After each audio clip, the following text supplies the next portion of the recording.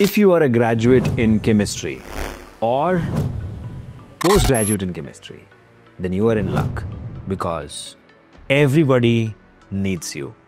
Now, this is not me saying, this is every industry shouting over the head, saying that we need a chemistry specialist or a, um, um, chemistry postgraduate who can help us. Be it pharmaceuticals, be, be it paints industry, be it um, fuel industry, be it the government. But today I'm here to talk about the government because the government is the biggest merchant in our country, the biggest business in our country, your country, any country is government. So, if you want to earn a lot of money, that too with a stable job, then of course government job is one of the most sought after jobs.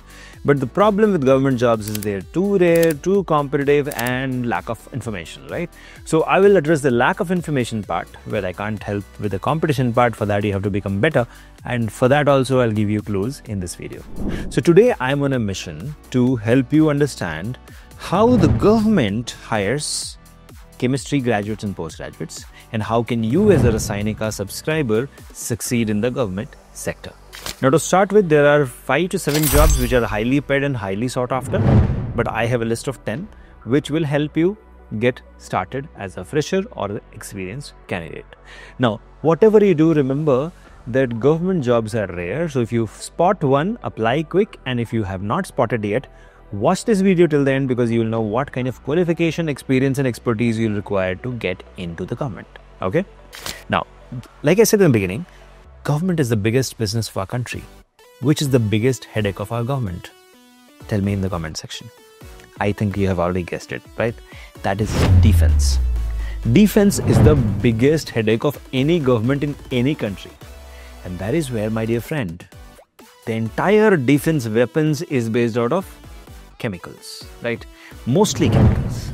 So that is where your biggest employer in government in India is DRDO, that is Defense Research and Development Organization, and it comes under Ministry of Defense. Now, your salary range here will be in between 1 lakh 30,000 to 1 lakh 50,000 per month, and plus allowances, and you know uh, they get up to 1 lakh 50,000 also when you include all the allowances. And the total annual package can actually exceed 25 to 30 lakhs for a senior scientist. So that's a huge big uh, package as we speak. And at the same time you know uh, the responsibilities also are very challenging. Like you can lead cutting edge defense research involving explosives propellants chemicals, biological defense, material science. For example, DRDO chemists are developing high energy fuels, advanced materials, corrosion prevention, and stealth coatings. Now, all of this is chemistry, right? So, they manage R&D products. They uh, guide the junior scientists, and you can contribute to strategic defense technology. You can understand how other developed countries have developed their defense technology and how can you implement it in India by uh, you know uh, learning all of this. So that is where these are the key responsibilities for you as a junior or a senior scientist. But now coming to it what kind of qualification you require to get into drdo the easiest and the most acceptable is phd okay? Even though you're a mtech or msc you still have a chance but you will start as a jrf but as a phd you can actually get in directly.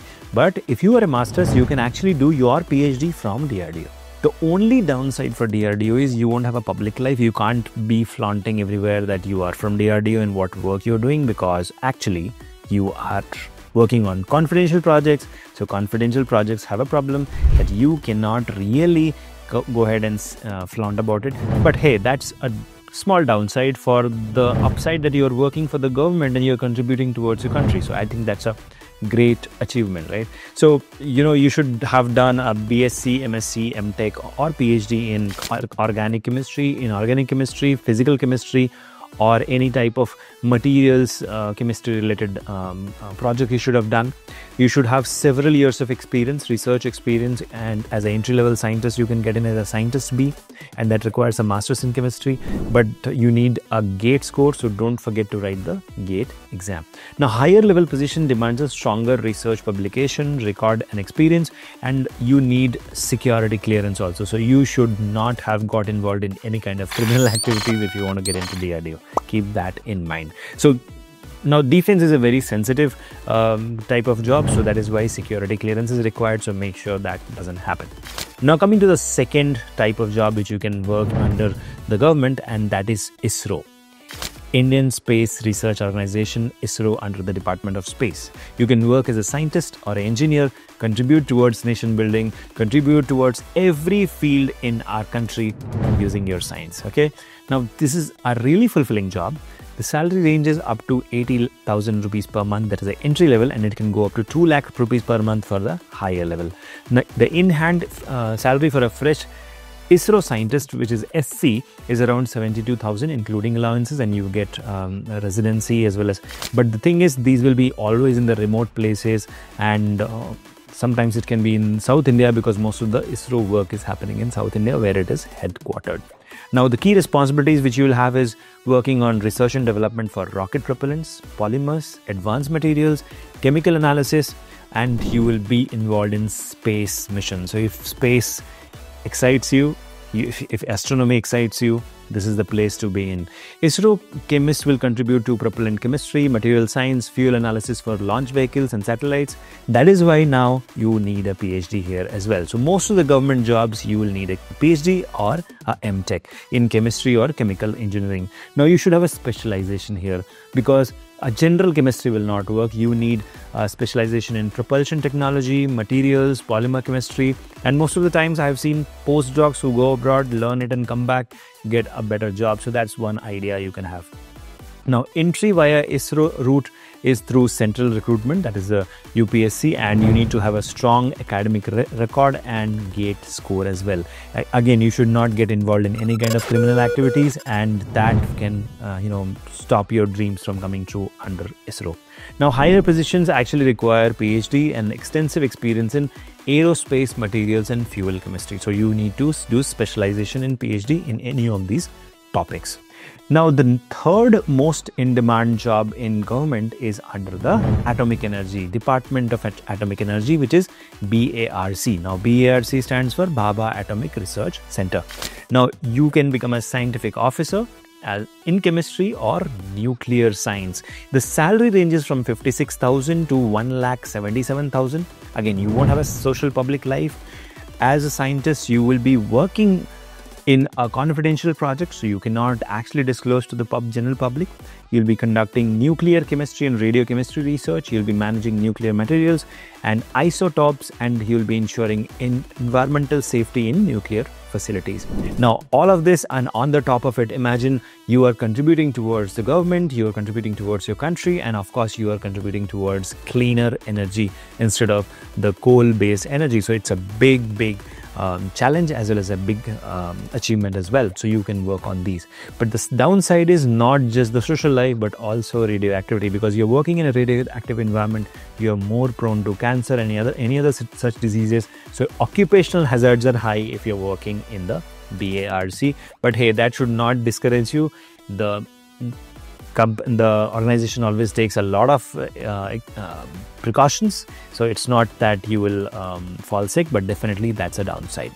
Now the next type of job which you can work is in ONGC now you must have heard of ONGC that is Oil and Natural Gas Corporation. It is a leading public sector unit under the petroleum department. Now this particular uh, ONGC job so you, the, the job which you will get is chief chemist or senior manager in chemistry your salary will range in between 50 lakhs to 30 lakhs per annum. One of the highest paid jobs are in ONGC. A very good work life balance and you start at 70 to 80,000 rupees salary, it goes up to 30 lakh rupees per month per year, and the key re- responsibilities will be overseeing oil fields and quality control operations. So, one thing you should remember is these kind of jobs are not in the metros, these kind of jobs are not in big cities, these will be always in the oil fuel drilling stations, which is always far from the bigger cities. So, that's something you should keep in mind. Now, as a chief chemist or a manager, you'll be coordinating laboratory teams and R&D projects to improve refinery processing, fuel quality, and chemical enhanced oil recovery techniques. And you will be advising the government as well as the management on corrosion control and waste treatment in ONGC facilities. Now, what do you need? You need a qualification of MSc in chemistry, applied chemistry, a good gate score and typically above 60% marks. And whenever the opening comes it comes on Rasayanika so all these openings which I told you it comes on Rasayanika you can apply and you can get a job. So now higher managerial post requires extensive lab experience and field experience up to 10 to 15 years. And that of course you can get once you have gotten so I've never seen a person who has got into these jobs who leaves these jobs. They just retire from these jobs. That's the kind of the power of these jobs. They're really really highly rewarding and contributes towards the nation building the fifth type of job in the government is again Indian Oil Corporation. Uh, the job which we have seen is quality control officer. Salary is in between 6 to 16.8 lakhs. Again, the responsibilities are similar. Uh, you will be working on chemical analysis on petroleum samples to verify if they meet the BIS uh, standards and the, uh, the qualification again will be masters in chemistry or masters in organic chemistry and various analytical techniques you should know such as chromatography spectroscopy uh, standards such as iso ASTM methods and all that, right? Now, this is the fifth type of job. Now, coming to the sixth one, which we have is CSIR senior scientist. Now, this is something which is again in the government, like NCL, IICT, there you can earn in between 1 lakh to 1.8 lakhs. The salary, eh, starting salary is around 80,000. You join as a scientist E or F and it keeps growing as over the period of years. Now you will be leading top chemical research projects like drug discovery, catalysis, polymers and materials. And as a scientist, you'll be planning, executing research programs, publishing in journal, uh, patenting new technologies and often collaborating with the industry. Now, the minimum qualification required will be no doubt only and only PhD in chemistry. So, you as a fresh PhD, um, uh, you will earn a little lesser, but slowly it grows, and you you will have to do a specialization in either catalysis, organic synthesis, nanochemistry, or anything which is related or and trending such as AIML in drug discovery. Now, the seventh type of job which you can get is a forensic scientist in the CFSL and SFSL. Now, Central Forensic Science Laboratories under the Ministry of Home Affairs or state forensic science labs are there where you solve crimes. You become the Sherlock Holmes of the entire world. So, what exactly you do? The chemical analysis of the crime scene will come. You, the evidence will come. You have to corroborate. You have to understand such as narcotics, toxins, explosives, residues from arsons, dyes sometimes food um, you know such uh, evidence will also come so you have to analyze you have to maintain a chain of custody you have to maintain the quality assurance protocols and you may have to testify in courts also as a uh, forensic scientist. So again, you need a MSc in chemistry or forensic science for this. The eighth type of job, again, very highly rewarding job you can get through UPSC. That is drug inspector or drug control officer under CDSCO. Now, CDSCO stands for Central Drug Standard Control Organization. The salary ranges in between 50,000 to 80,000 starting, goes up to 15 20 lakhs also. Mm, but you have a lot of travel involved here. You have to go to pharmaceutical companies as a drug inspector. You have to check if they're complying with the Drugs and Cosmetics Act. You have to test the drug samples. You have to send the samples to the um, lab and then you have to seize substandard spurious drugs and assist in prosecuting the violence. So all of that happens in your um, drug inspector. Now the ninth type of job is in the pollution control. Again, a very important, impactful job where you can advise the government and the environmental ministry of environment to um, reduce the pollution, right? So the salary again is highly rewarding, starts at 50,000, goes up to 1 lakh 20,000 initially and then it explodes up to 20 lakhs also. Now minimum qualification required here would be MSc in chemistry or environmental science.